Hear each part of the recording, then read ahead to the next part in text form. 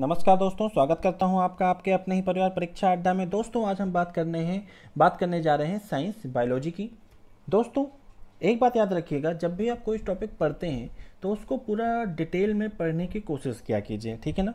फ़िलहाल यहाँ तो हम उतना डिटेल में नहीं पढ़ पाते हैं, लेकिन जब भी आपकी ऑफलाइन क्लासेस शुरू होंगी तो हम उन सभी टॉपिक्स के बारे में पूरे डिटेल में चर्चा करेंगे। दोस्तों, आज हम पढ़ेंगे कुछ वन लाइनर क्वेश्चन और उनका आप आंसर देने की कोशिश कीजिएगा, ठीक है ना? मैं उम्मीद करता हूँ कि आप सभी उसका, उन क्वेश्चंस का आंसर देंगे और कमेंट बॉक्स में मुझे बताएँगे कि आपके कितने क्वेश्चन सही हुए। चलिए दोस्तों तो शुरू करते हैं। आपका पहला क्वेश्चन है, मानव खोपड़ी में हड्डियों की संख्या होती है। तो आपका आंसर होगा आठ, ठीक है? मानव खोपड़ी में हड्डियों की संख्या होती है। आंसर क्या लगाएँगे आप? आठ।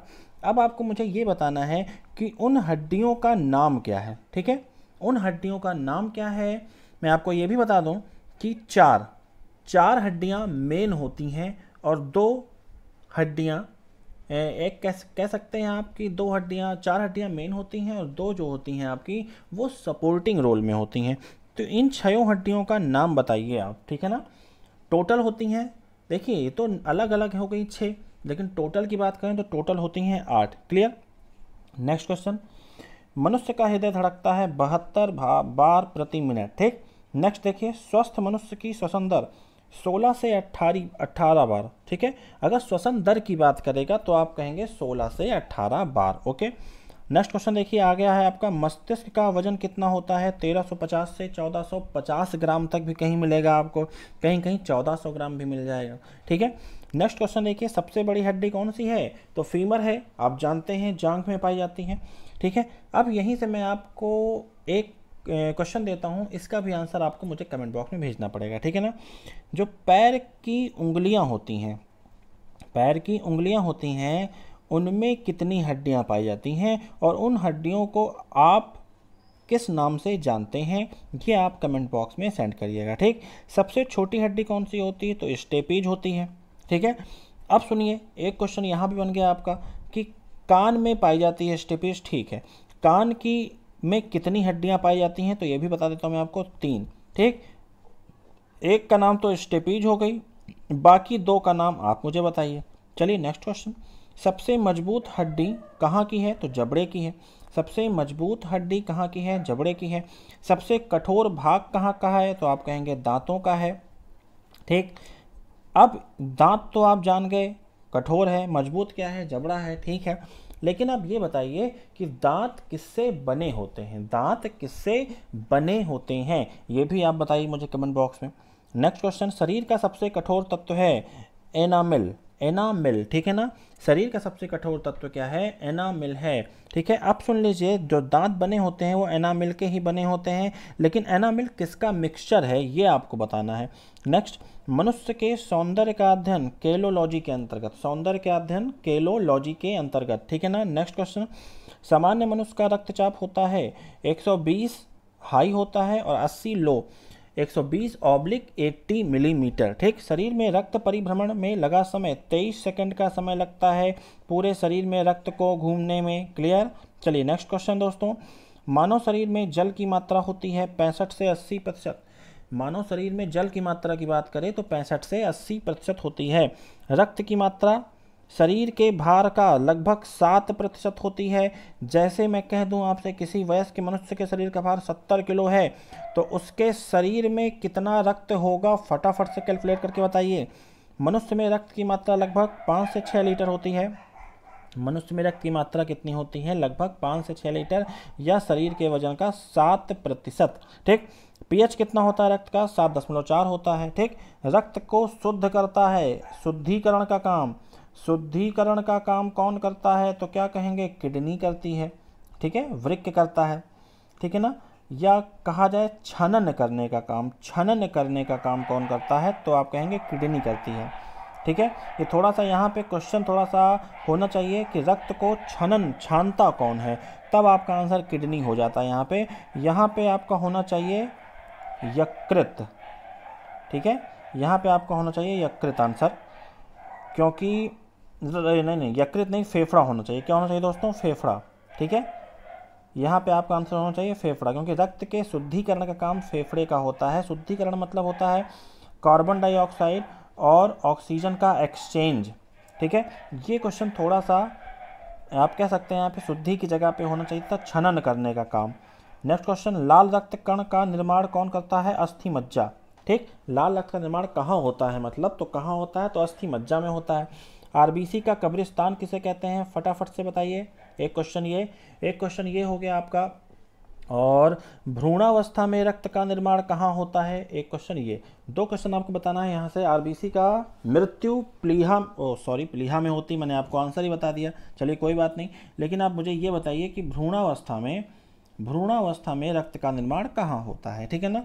लाल रक्त कणों का जीवन काल होता है। आरबीसी का जीवन काल होता है 120 दिन का। 120 दिन का 20 से 120 दिन लिखा हुआ है, ये सही है आपका, लेकिन ज़्यादातर 120 ही आप लगाएँगे टिक, ठीक है? नेक्स्ट क्वेश्चन श्वेत रक्त की बात करें तो दो से चार दिन आप मत लिखिएगा, आप लिखिएगा छः से आठ दिन का, ठीक है? छः से आठ दिन भी मिलेगा आपको, या आपको तीन से आठ दिन भी मिल सकता है, ठीक है? जो औसत निकाल के बताएँगे, वो आप बताएँगे पाँच से छः दिन, ये आपका एकदम एक्यूरेट माना जाएगा, ठीक है ना?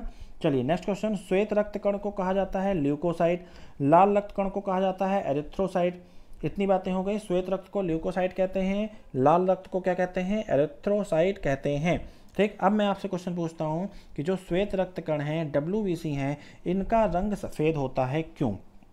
ठीक है, और लाल रक्त कणों का रंग लाल होता है क्यों? ठीक, ये दो क्वेश्चन का आंसर आप मुझे बताएँगे। ठीक है, चलिए नेक्स्ट क्वेश्चन शरीर का ताप नियंत्रित करता है। हाइपोथैलेमस ग्लैंड कौन करता है? हाइपोथैलेमस ग्लैंड ठीक है?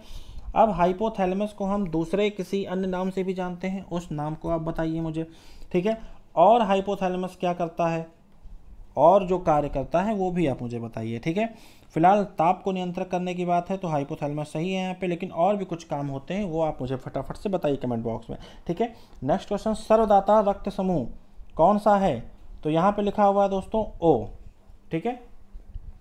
सर्वदाता रक्त समूह कौन सा है? ओ, ठीक है? अगर ओ में भी देखिए, दो ग्रुप होते हैं कौन कौन से? ओ माइनस और ओ प्लस, ठीक? अब ये प्लस का मतलब क्या होता है? एक होता है रिसस फैक्टर, ठीक? प्लस का मतलब होता है जिस ब्लड ग्रुप में रिसस फैक्टर मौजूद है, उस पर हम प्लस सिंबल लगा देते हैं, जिस पर नहीं है, उसमें हम माइनस सिंबल लगा देते हैं, कोई दिक्कत? ठीक है ना? तो ओ में भी दो ब्लड ग्रुप हो गए ओ प्लस और ओ माइनस ठीक है?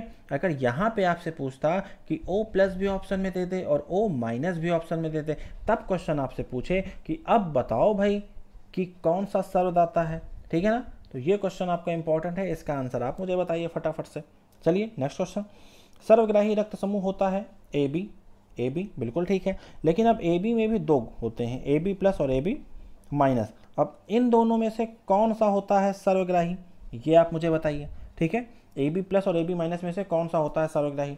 नेक्स्ट क्वेश्चन ब्लैक ब्लैंक किसे कहा जाता है? प्लीहा को इंग्लिश में लिखा हुआ है स्प्लेन भोजन का पाचन कहाँ से होता है? मुख से होता है, प्रारंभ हो जाता है मुख से ही। नेक्स्ट क्वेश्चन पचे हुए भोजन का अवशोषण कहाँ होता है? छोटी आंत में होता है, बिल्कुल सही है। पित्त किस, पित्त श्रावित होता है यकृत से, बाइल जूस जिसे आप कहते हैं, बाइल जूस, ठीक? ये तो हो गया। कहाँ से श्रावित होता है? कहाँ संग्रहित होता है? ये भी बताइए फटाफट से। और आपके पित्त में एससीएल की कितनी मात्रा है? ये भी बताइए मुझे आप, ठीक है? नेक्स्ट क्वेश्चन शरीर की सबसे बड़ी ग्रंथि, लीवर। अगर मैं बात करूँ शरीर का सबसे बड़ा अंग तो आप कहेंगे त्वचा, ठीक? अगर मैं आपसे बात करूँ शरीर की सबसे बड़ी अंतःस्रावी ग्रंथि तो आप कहेंगे थायराइड, ठीक? अब जब थायराइड की बात आ गई है तो थायराइड की थायराइड से कौन सा हार्मोन निकलता है, ये ग्रंथि कहाँ पाई जाती है और इस ग्रंथि से निकलने वाले हार्मोन की कमी से कौन कौन सा रोग हो सकता है? इन सभी क्वेश्चन को फटाफट से कमेंट बॉक्स में आप मुझे बताइए। नेक्स्ट क्वेश्चन शरीर का सबसे बड़ा अंग, त्वचा। देखिए, लिखा ही हुआ है आपके साम, आपके सामने। शरीर की सबसे छोटी ग्रंथि पिट्यूटरी जिसे आप मास्टर ग्लैंड के नाम से जानते हैं या प्यूस ग्रंथि भी कहते हैं, ठीक है? नेक्स्ट रक्तचाप मापने का यंत्र होता है स्फिग्मोमैनोमीटर ठीक है दोस्तों, इसको आप याद कर लीजिए इंपॉर्टेंट क्वेश्चन है रक्तचाप मापने का यंत्र होता है इस फिग्मो मैनोमीटर ठीक है ना? मनुष्य की पसलियों की संख्या कितनी होती है? बारह जोड़ी यानी कि कुल मिला के चौबीस पसलियाँ, ठीक? बारह जोड़ी या कुल मिला के कितनी? चौबीस पसलियाँ। शरीर में कुल हड्डियों की संख्या 206 300 प्लस पूछे तो बच्चों में, छोटे बच्चों में 300 प्लस हड्डियाँ होती हैं, ठीक है ना? क्लियर नेक्स्ट मांसपेशियों की कुल संख्या छः सौ उनतालीस मांसपेशियों की बात करें तो छः सौ उनतालीस, अब यहीं पे आपसे क्वेश्चन मैं पूछता हूँ कि शरीर की सबसे बड़ी मांसपेशी का नाम और कहाँ पाई जाती है? ठीक है दोस्तों, फटाफट से कमेंट बॉक्स में मैंने आपको पढ़ाया हुआ है, शरीर की सबसे बड़ी मांसपेशी का नाम और कहाँ पाई जाती है? दूसरा क्वेश्चन सुनिए, शरीर की सबसे छोटी मांसपेशी का नाम और कहाँ पाई जाती है? ये दोनों क्वेश्चन का आंसर आप मुझे फटाफट से कमेंट बॉक्स में भेज दीजिए। एक क्वेश्चन और सुन लीजिए तंत्रिका कोशिका, शरीर की सबसे बड़ी तंत्रिका कोशिका कौन सी है? इसका भी आंसर आप मुझे भेजिए, ठीक है? नेक्स्ट क्वेश्चन सुनिए। लार में पाया जाने वाला एंजाइम टाइलिन होता है, जानते ही आप। लिंग निर्धारण होता है कैसे? पुरुषों के क्रोमोसोम से, ठीक है ना? चलिए, अगला क्वेश्चन मनुष्य मनुष्य का हृदय होता है चार कोष्ठी मनुष्य का हृदय के कोष्ठी होता है? चार कच्छ होते हैं, चार कोष्ठी होता है, ठीक है? नेक्स्ट क्वेश्चन शरीर में गुणसूत्रों की कमी की संख्या तो आप लिखेंगे छियालीस, ठीक? शरीर की सबसे बड़ी कोशिका, तंत्रिका कोशिका या तंत्रिका तंत्र कह सकते हैं आप। अभी मैंने क्वेश्चन भी पूछा था आपसे यही। आर एच फैक्टर के खोज करता लैंड स्टीनर व वीनर ठीक है? लैंड स्टीनर व वीनर आर एच फैक्टर की खोज किस पे हुई थी? तो आप कहेंगे बंदर पे हुई थी। उस बंदर का क्या नाम था? उस बंदर का ही नाम था रिसस और यहाँ पे आर एच का पूरा नाम क्या है? तो आप कहेंगे रिसस ऑफ़ ह्यूमन, ओके? शरीर में अमीनो अम्ल की संख्या होती है बीस। समीन शरीर में हमारे कितने प्रकार के अमीनो अम्ल पाए जाते हैं? बीस, ठीक है ना? तो इन बीस प्रकार के अमीनो अम्लों को आपको याद करना है। अपना नोट्स पलटिए नोट्स में आप लिखे हुए हैं ट्रिक वाइज ठीक है? और ट्रिक से मैंने आपको बताया था कि गली में आया, गुलाम अली, गुलशन तेरी याद में करने से रो शायरी। इस तरह से मैंने आपको एक ट्रिक बताई थी, ठीक है ना? तो आप बड़े ही आराम से दस अमीनो एसिड तो याद ही कर सकते हैं इसी ट्रिक से, ठीक है? जैसे कि गली से हो गया आपका ग्लूटेनामाइट इस तरह से, ठीक है ना? तो आप इसको याद कर सकते हैं। चलिए, आगे बढ़ते हैं। शरीर में प्रतिदिन मूत्र बनता है लगभग डेढ़ लीटर भाई, ठीक है ना? मूत्र दुर्गंध होती है यूरिया के कारण, ठीक है? क्वेश्चन पूछ लेता है कभी कभी कि भाई जो सार्वजनिक शौचालय होते हैं, उसके बाद जो गंध आती है, वो क्यों आती है? तो आप कहेंगे अमोनिया की होती है। किसकी होती है? अमोनिया की होती है। बात समझ रहे हो? ठीक है? अगला क्वेश्चन सुनो। मानव मूत्र का पीएच होता है तो कह लो छः होता है भाई। नहीं याद हो रहा है तो जब तुम सार्वजनिक शौचालय के सामने से गुजरते हो तो क्या कहते हो यार? छी! बहुत तेज़ बदबू आ रही है। तो इसी छी से बना लो छः याद हो जाएगा। कोई कोई दिक्कत है? बोलो। ठीक है? अगर आपसे पूछा जाए कि रक्त का पीएच तो सात दशमलव चार होता है, आँसू का पीएच तो सात दशमलव चार होता है, दोनों का पीएच आप सात दशमलव चार याद रखेंगे। ठीक है ना? अगर नहीं याद हो रहा तो कैसे याद करोगे बताओ? ऐसे याद कर लो कि कोई प्रेमी था भाई, किसी प्रेम का के चक्कर में पड़ा हुआ था, प्रेम का छोड़ के चली गई। और जब छोड़ के चली गई तो रोने लगा। और जब रोने लगा तो खून के आँसू बहाने लगा। खून के आँसू बहा रहा था। और जो प्रेमी था, कैसे आँसू बहा रहा था? खून के आँसू बहा रहा था। और जो खून के आँसू होते हैं, वो बहुत सच्चे होते हैं। मतलब सच्चा आँसू बहा रहा था, सच्चा आशिक था। सच्चा से आप बना लो सात दशमलव चार। सच्चा सात दशमलव चार, okay? Next question vitamin A संचित रहता है। कहाँ पर विटामिन ए संचित रहता है भाई? यकृत में संचित रहता है, ठीक है ना? नेक्स्ट शरीर का तापमान। होता है तो आप कहेंगे 98.6 एक्यूरेट 98.4 लगा देना। अगर आता है तो यही सही माना जाएगा। अगर ऑप्शन में 98.4 है 98.6 भी है तो 98.4 को ही टिक लगाना, ठीक है ना? और सुन लो, सैंतीस डिग्री, ठीक? सैंतीस डिग्री सेल्सियस होता है, ठीक है? अगर ऑप्शन में छत्तीस दशमलव आठ नौ दिया हुआ है तो यही टिक लगाना, यही सही माना जाएगा, ठीक है ना? सैंतीस को सही नहीं माना जाएगा, तब छत्तीस दशमलव आठ नौ जब दे देगा। ठीक है? अगर वैसे बात करें कैलविन में तो 310 कैलविन होता है, ये भी आपको याद रखना चाहिए 310 कैलविन भी, ठीक है? चलिए, आगे बढ़ते हैं।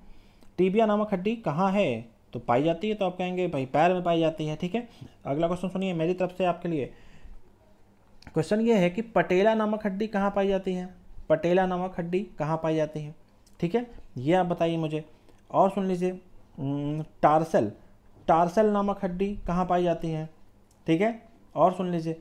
कार्पेल्स। कार्पेल्स नामक हड्डी कहाँ पाई जाती है? ठीक है? तो टार्सल कहाँ पाई जाती है? पटेला कहाँ पाई जाती है? कार्पेल्स कहाँ पाई जाती हैं?